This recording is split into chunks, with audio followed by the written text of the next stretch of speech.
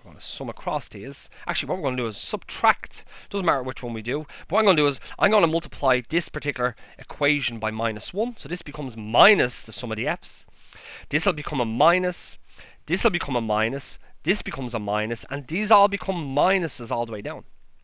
And now what we do is we add we add across the columns, yeah? So this, when we add these two things here together, it becomes 1 plus i times sigma f minus sigma f minus the sum of the payments must be equal to. Okay. Well, look, hopefully we can see. We have, ignore this term here for a moment, yeah? We have an f times 1 plus i to the n minus 1, and then we have a minus f times 1 plus i to the n minus 1. So actually, these two terms here cancel. Also, here we have an f times 1 plus i to the n minus 2, and we have a negative version of it up here, a negative, uh, a negative, uh, its negative counterpart up here, so them two cancel. And you can see that actually all the way down, okay, what we have is these terms cancel out. So we have this telescope effect, yeah, okay, where terms are cancelling out uh, uh, all the way down through this particular through this particular calculation. So the only things that we're left with are these two. So we're left with f times 1 plus i to the n, okay, minus f times 1 plus i to the 0, okay. Now, we're nearly there. Okay, don't forget, what we're trying to get is something that looks like this, the total accrual of all repayments. We're trying to get this here, okay. So how the hell are we going to do this? Well, we want to find a sigma f, so there's a sigma f common here, so let's take it out. So this becomes sigma f, the accrual of all the payments, times, well, what's left behind when we take it away here? There's a 1 plus i. What's left behind when I take it away here? Well, there's a minus 1 left behind here. So that must be equal to f times 1 plus i to the n. Any number raised to the power of 0 is 1. So this just becomes a minus f, minus one of our payments. Yeah. And actually what you can actually see here is that this becomes 1 minus 1 is 0, plus the i gives us i. So this becomes uh, i times sigma f is equal to f times 1 plus i to the n minus f. Okay, and what we really have here is therefore, okay, what we have from here, okay, okay, okay, we have dividing across by i that the accrual, the sum of all the repayments with the interest that's to be allocated to it is equal to f times 1 plus i to the n minus f divided by the interest rate. Okay.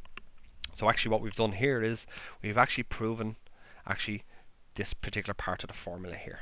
Okay. So really what we have now is we have both parts of the formula. We have the cost of borrowing is a simple compounding calculation. Okay. You borrow an amount today over n years. Well, the cost of that borrowing is it's it's the compound, yeah, of how much you borrowed. And also now what we have here is for all of the repayments over all of the years, okay, we've we've reduced these payments or we've summed these payments up into this particular formula here. This formula here, okay, is a sum, okay? It's a sum of a number of finite terms, okay? So this particular formula here represents, okay, okay, it's the sum of all of these particular accruals.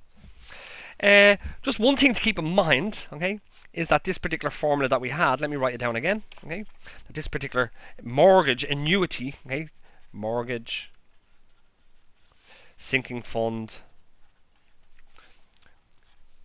annuity formula, okay, Okay. Now I've only dealt with this based off a mortgage from the from the rationale uh, from a mortgage perspective.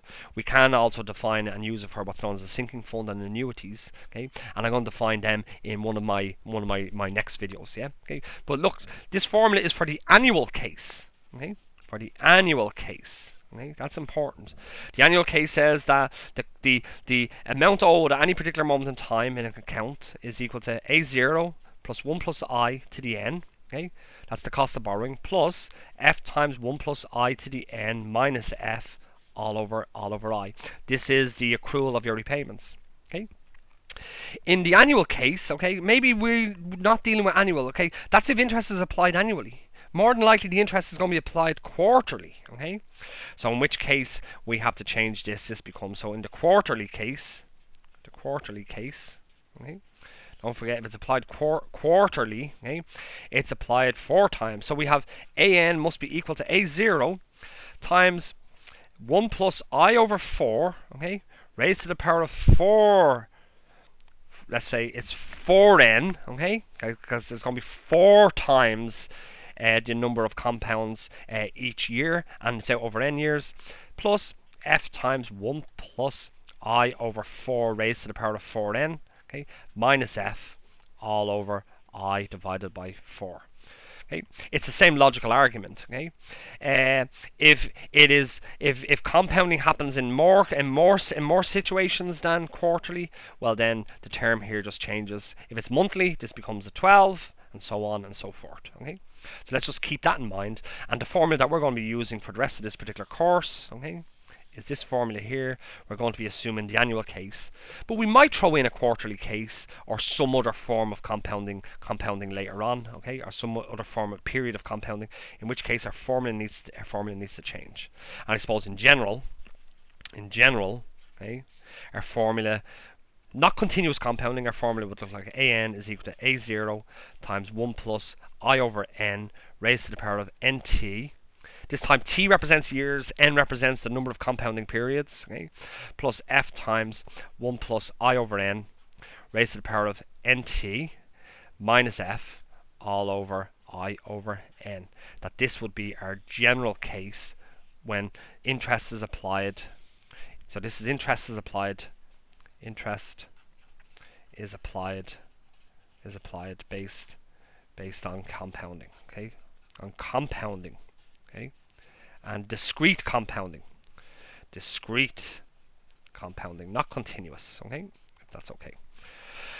Okay guys, I know this was a very long video. Okay, I'm going to break it actually up into parts, yeah, okay. Uh, but once again, uh, my name is Jonathan Lambert with the Mathematics Development and Support Service at the National College of Ireland.